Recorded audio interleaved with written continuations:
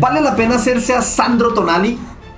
Vamos a ver, un7bay.com es el mejor lugar para comprar monedas en FIFA 23. Y si introduces el código GORI te dan hasta un 5% de descuento. Así que si estás pobre, ya sabes qué hacer, link en la descripción. Listo, Marcelo, aquí tenemos a Sandro Tonali, ya logramos las fichas.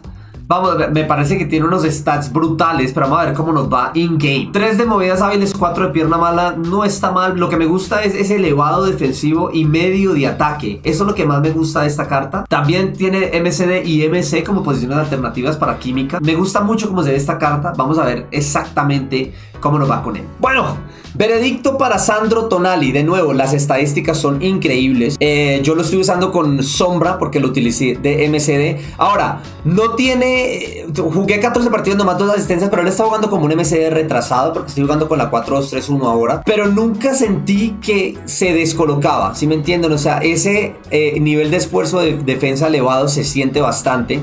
Los pases se sienten seguros. No solo eso, su posicionamiento a la hora de defender es muy bueno. Eso fue lo que sentí yo. Jugué 14 partidos con él.